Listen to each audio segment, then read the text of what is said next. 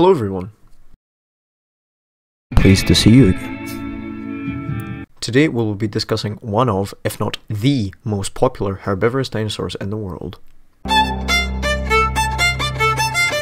Triceratops, arguably the most identifiable herbivorous dinosaur due to its highly unique appearance and exposure in popular media, such as practically every dinosaur documentary and TV show ever. As such, we will be delving into illustrating this fucking main battle tank build with a burning racial hatred against any other animal that happens to exist within a 100 meter radius.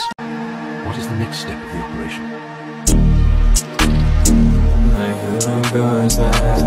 Triceratops translates to three horned face, as it was first discovered in 1887 by Edmund B. Wilson at Denver, Colorado. Or apparently it was George Lyman Cannon who then, then sent sent it it away, Canyon but then George not a real Lyman place Canyon is actually not a real place. but then George Lyman Lyman is actually not a real place and is found to- and described a year later by Charles Marsh, who initially thought that the fossils were just a species of giant bison, which consisted of a pair of brow horns attached to the skull roof, but later realized that it actually belonged to a large prehistoric horned dinosaur, and he later established a new family of dinosaurs known as Ceratopsia, sporting a huge variety of unique species, ranging from small animals like Psittacosaurus sinensis to formidable titans like Diabloceratops eatoni, Triceratops prorsus, and of course Triceratops horridus. The Triceratops in Jurassic Park is most likely a Triceratops prorsus, given the time that Jurassic Park was created and based on Triceratops horridus was slightly bigger than Triceratops prorsus. Either way, I'll be using Triceratops prorsus as the reference for this video for that reason, and due to the fact that it also lived during the late Cretaceous period, all the way from 68 million years ago, all the way down to the KT extinction event, unlike Triceratops horridus, which died out approximately 500,000 years before the KT extinction event.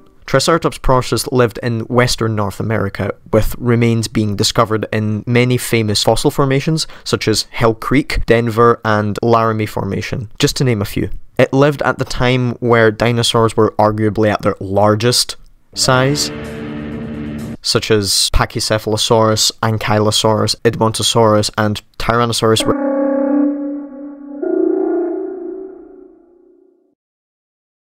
Anyways, let's move on to the. There is no doubt that Triceratops is one of, if not the most recognizable dinosaurs in the world. If I showed a picture of a trike to a random passerby, they will most likely be able to discern it as a Triceratops thanks to Jurassic Park and earlier popular dinosaur media. Triceratops is a very unique and gorgeous looking animal, with the Ceratopsian family in general being some of the most diverse and cool looking clade of dinosaurs. Triceratops was way larger than most people realise, with the average specimen coming in at about 8 to 9 metres in length, with a height of 3 to 3.5 metres tall at the tip of the neck frill, and ranging from a weight of 6 tonnes to a monstrous 12 tonnes. I will once again proceed to use the American school bus example. When you take a look at the Triceratops, your eyes immediately notice the two large horns on its head, sporting an average of 1 to 1.15 meters in length, accompanied by the giant neck frill, which spanned approximately 1.5 meters, giving Triceratops an incredibly imposing and intimidating stature, which begs the question was Triceratops a stand user? Sharpening. I've been here fucking drafted to make this video about fucking dinosaurs.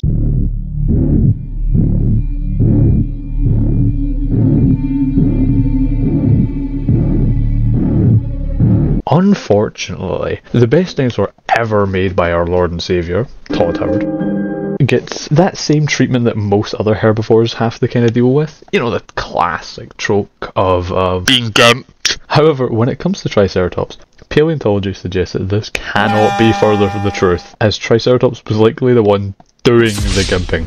I mean, just look at this fucker, and you tell me this motherfucker was getting neg deft by a fucking Carno? Nuh-uh. Being the absolute fucking unit that it was, most predators likely wouldn't even dare to be in the vicinity of, never mind confront, an adult male Triceratops. Never mind a herd Although fossil analysis of Triceratops and Tyrannosaurus rex indicates that most hunting attempts ended extremely poorly. And it's no surprise that you can thank the horns and the neck frill for that. The horns were likely used as both offense and defense because of course they were. I mean, the big bastards couldn't see for shit. You ever seen Daredevil? It's like a roided up Ford Ranger T-boning a fucking 18 wheeler and uh, winning. It's more likely that they were more often than not used in an intraspecific combat against other trikes and for, you know, Sexual display. who doesn't love a sword fight with the boys, eh? The neck frill speculated to have evolved for protecting its neck from attacks, in addition to a display. The fuck?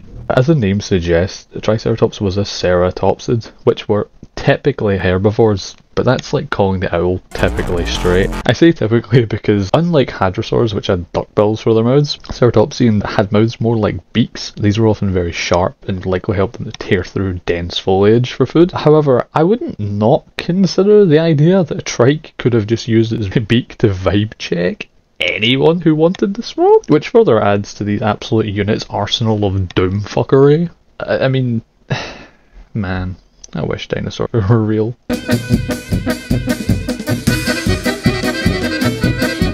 I would like to thank this handsome young fellow for taking part in the video. It's his favourite dinosaur, so he very much enjoyed working on it with... Okay, this is like three times I've been interrupted in this video. What the fuck is that? Swear to fucking god, I don't care who the IRS is, I'm not paying...